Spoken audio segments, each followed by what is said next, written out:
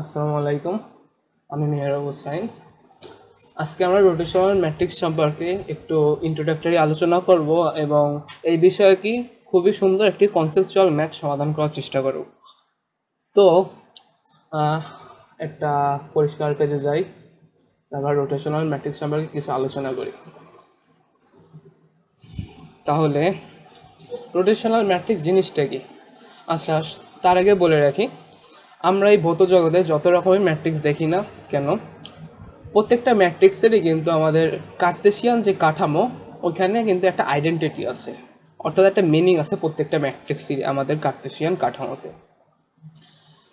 আমরা তো যে কোনো ভেক্টরকে ম্যাট্রিক্স আকারে প্রকাশ করতে পারি। আর অনেক ধরনের ম্যাট্রিক্স আছে, তার মধ্যে এই একটা রোটেশনাল ম্যাট্রিক্স অনেক আছে শিয়ার ম্যাট্রিক্স এগুলো করে কি আমাদের ওই কার্টেশিয়ান কাঠামোতে আমাদের যেই ম্যাট্রিক্সটা আছে ওই ম্যাট্রিক্সের উপর কিছু ট্রান্সফরমেশন অ্যাপ্লাই করে, ঠিক আছে? যেমন এই যে যে আমরা যে রোটেশনাল ম্যাট্রিক্স নিয়ে আজকে যে আলোচনাটা করব, এই ম্যাট্রিক্সের কাজটা হলো কি?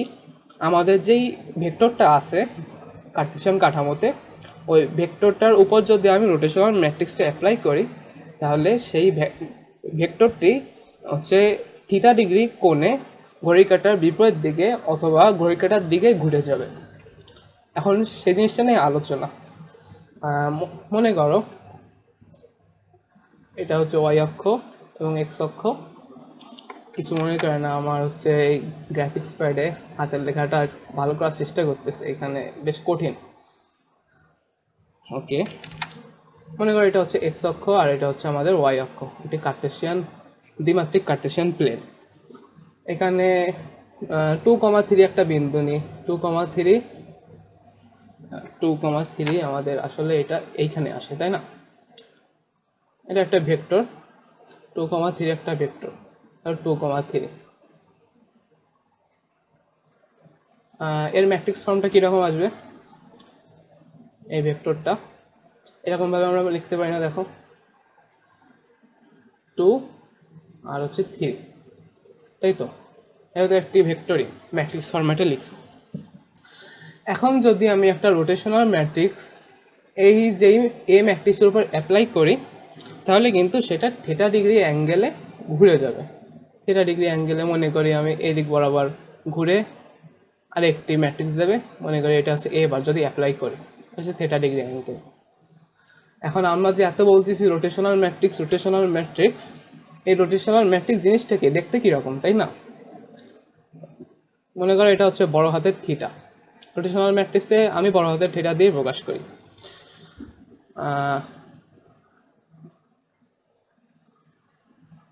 Cos theta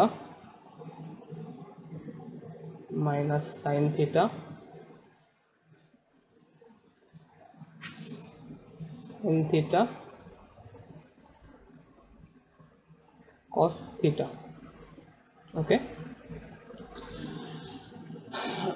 এটা একটা রোটেশনাল ম্যাট্রিক্স আরেক প্রকার রোটেশনাল ম্যাট্রিক্স আমি যে, এই যে ওয়ান ওয়ান কমা টু ভুক্তিতে সাইনের আগে মাইনাস দিছি।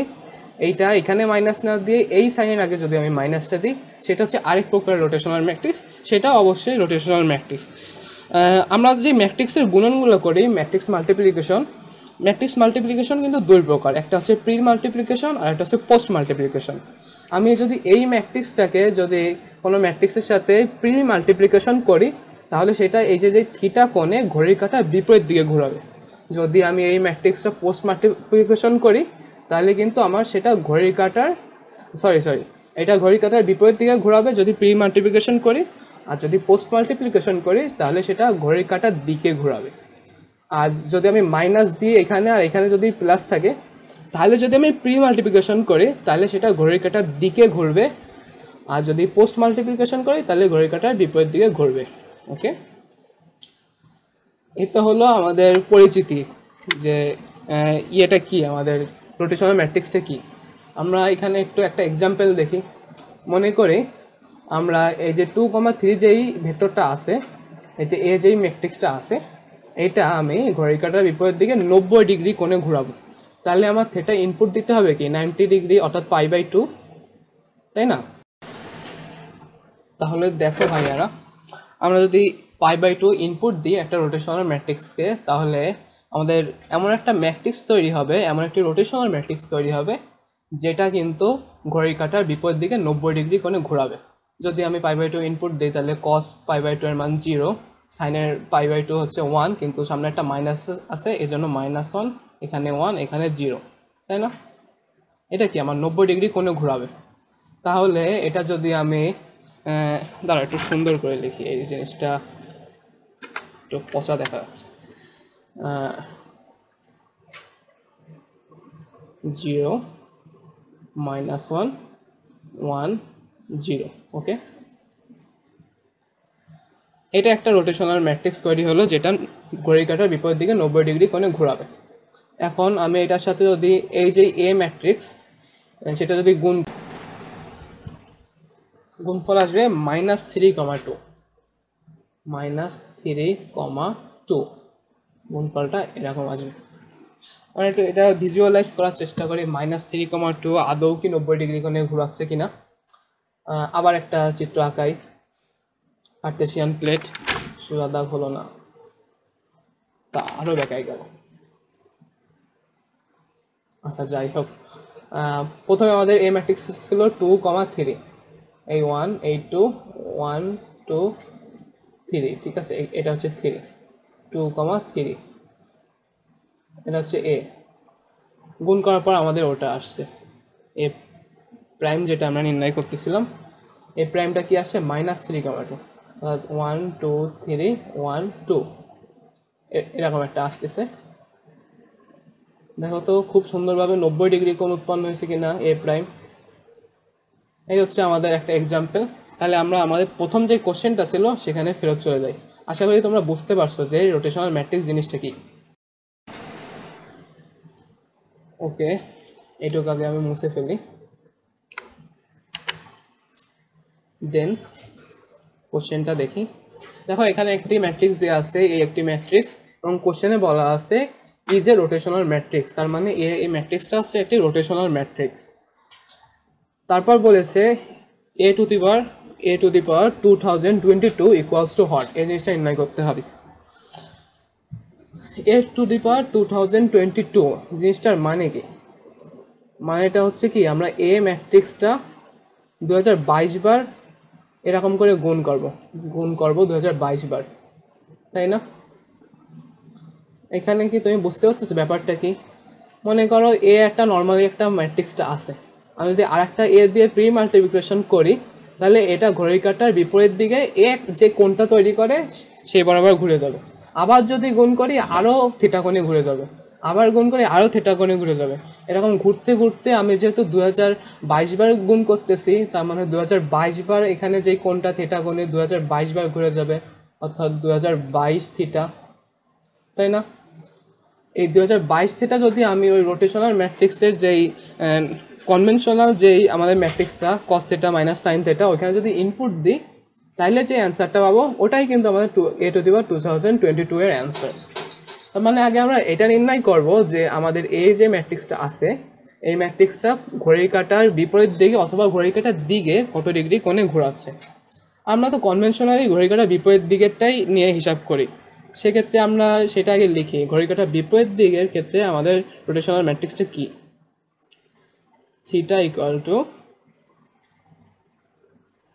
যেটা লিখছিলাম cos theta minus sine theta cos minus sine theta sine theta cos এই ম্যাট্রিক্স এটাও রোটেশনাল ম্যাট্রিক্স কোশ্চেনেও বলা আছে, আমাদের এ যেটা আছে, এটাও রোটেশনাল ম্যাট্রিক্স তাই না? তাহলে আমি এই কস থেটা মাইনাস ভুক্তিগুলা যদি আমি একটু তুলনা করি, তাহলে কি আসে দেখো তো? কস থেটা ইকুয়াল টু আসে আমাদের minus root three by two minus root three by two আর দ্বিতীয় ভুক্তি যদি আমি হিসাব করি sine theta equal to half sine theta equal to half এখান থেকে থিটার ভ্যালু কি আসে? সাইন থিটা হাফ কোথায় আসে? কত ডিগ্রি কোণে সাইন হাফ আসে? একটা আছে পাই বাই সিক্স নিশ্চয়ই। আর একটা হচ্ছে ফাইভ পাই বাই সিক্স তাই না? একশো পঞ্চাশ ডিগ্রি কোণ সেকেন্ড কোয়াড্রেন্টে ভাইয়া ফাইভ পাই বাই সিক্স আরও তো হতে পারে, তাই না? আচ্ছা আমরা যখন দুটা ভেক্টরের মধ্যবর্তী কোণ হিসাব করি, দুইটা ভেক্টরের মধ্যবর্তী কোণ সেটা কি কখনো একশো আশি ডিগ্রির বেশি কখনো হিসাব করেছি? করে নেই। তাই আমরা এখানেও কিন্তু একশো আশি ডিগ্রির বেশি আমরা নেব না। সর্বোচ্চ আমরা একশো আশি ডিগ্রি নেব। ঠিক আছে? এখন আমাদের প্রথম যেই ভুক্তি, সেটা যদি তুলনা করি থেটার মানটা নির্ণয় করি, তাহলে আমাদের কীরকম আসে দেখি? কস নেগেটিভ অর্থাৎ তার মানে ফার্স্ট কোয়াড্রেন্ট তো হবেই না। সেকেন্ড কোয়াড্রেন্টের মধ্যে আমাদের অ্যান্সারটা তাহলে আনতে হবে। ওইখানে আমাদের কসটা হচ্ছে নেগেটিভ সেকেন্ড কোয়াড্রেন্টে যদি আমি থিটার মান ফাইভ পাই বাই সিক্স হয় তাহলে কস থিটার মান minus root three by two হবে। তার মানে আমাদের এই ম্যাট্রিক্সটার জন্য থিটার মান ফাইভ পাই বাই সিক্স এই এ ম্যাট্রিক্সটার জন্য। এর মানে কি বোঝাচ্ছে? আমাদের এই এ ম্যাট্রিক্সটা ঘড়ির কাটার ঘড়ির কাটার বিপরীত দিকে ফাইভ পাই বাই সিক্স কোণে ঘোরাবে ওকে তাহলে আমি এটুক মুছে ফেলি আগে। সুন্দর করে লিখি। তাহলে এটা ঘড়ির কাটার বিপরীত দিকে ফাইভ পাই বাই সিক্স কোণে ঘোরাবে। থিটা ইকলটা আমরা পেয়েছিলাম ফাইভ পাই বাই সিক্স তার মানে ফাইভ পাই বাই সিক্স কোণে কতবার ঘোরাবে? আমরা দু হাজার বাইশ বার গুণ করতেছি। তার মানে দু হাজার বাইশ বার ফাইভ পাই বাই সিক্স কোণে ঘোরাবে। মানে two thousand twenty two theta এটা যদি আমি ক্যালকুলেটারে গুণ করি ফাইভ পাই বাই সিক্স গুণ দুই হাজার বাইশ। ষোলোশো পঁচাশি পাই, ওকে? ষোলোশো পঁচাশি পঁচাশি পাই। তার মানে আমি রোটেশনাল ম্যাট্রিক্সে যদি ষোলোশো পঁচাশি পাই ইনপুট করি, তাহলে কিন্তু আমি A to the power two thousand twenty two এর যে ভ্যালুটা আসবে, যে ম্যাট্রিক্সটা আসবে, সেটা কিন্তু খুব সহজে নির্ণয় করতে পারব। তার মানে এ টু দিবার টু থাউজেন্ড টোয়েন্টি টু ব্যাপারটা কী আসে অবশ্যই এটা একটা রোটেশনাল ম্যাট্রিক্স রোটেশনাল ম্যাট্রিক্সকে রোটেশনাল ম্যাট্রিক্স দিয়ে গুণ করলে রোটেশনাল ম্যাট্রিক্সই হবে। আর সবগুলোই টু বাই টু ভুক্তি। টু বাই টু ক্রমে আছে। আর প্রথমে কস ষোলোশো পঁচাশি। আচ্ছা আমি এগুলা থিটা আকারে লিখে দিই। তারপর হচ্ছে একবারে ষোলোশো পঁচাশি ইনপুট দিয়ে দিই। Cos theta minus sine theta আচ্ছা আমি যেহেতু এইটাকে থিটা দ্বারা ডিনোট করে দিচ্ছি, এখানে থিটা দিয়ে যদি ডিনোট করি এই ব্যাপারটা খারাপ দেখায়। এখানে আমি আলফা দ্বারা ডিনোট করি, ঠিক আছে? আলফা ইকাল টু দু হাজার বাইশ থিটা তাহলে cos alpha cos alpha minus sine alpha sine alpha cos alpha okay যদি আমি আলফাগুলো ইনপুট দিই, দেখো তো ষোলোশো পঁচাশি পাই। তার মানে কি? এক্স অক্ষ বরাবর না? এক্স অক্ষ বরাবর। এবং এটা দেখো বিজোড়, পঁচাশি এইটি ফাইভ ফাইভ বিজোড়। তার মানে কি? এক্স অক্ষের বিপরীত দিকে। অর্থাৎ কজ নেগেটিভ ওয়ান মানে কজ আমাদের আসে মাইনাস ওয়ান সাইন এক্স অক্ষ বরাবর সাইন তো জিরো এন পাই তো সাইন জিরো হবেই। এন পাই সাইন জিরো অবশ্যই। আবার কজ এটা হচ্ছে মাইনাস ওয়ান দেখো তো পরিচিত কোনো ম্যাট্রিক্স কিনা এটা? হ্যাঁ এটা আইডেন্টিটি ম্যাট্রিক্স কিন্তু একটা মাইনাস কমন যদি নিই, তাহলেই এটা আইডেন্টিটি ম্যাট্রিক্স আকারে প্রকাশ করা যাবে। মানে এটাই হচ্ছে আমাদের নির্ণয় অ্যান্সার তার মানে ভাইয়া, আমাদের অ্যান্সারটা কি এই রোটেশনাল ম্যাট্রিক্সের A to the power two thousand twenty two two thousand twenty two equal to answer minus I minus I okay so this is the answer আশা করি তোমরা বুঝতে পারছ রোটেশনাল ম্যাট্রিক্সটা আমি চেষ্টা করছি যতটুকু ইন ডেপ বোঝানো যায়। ঠিক আছে? সবাই ভালো থেকো। আল্লাহ হাফিজ।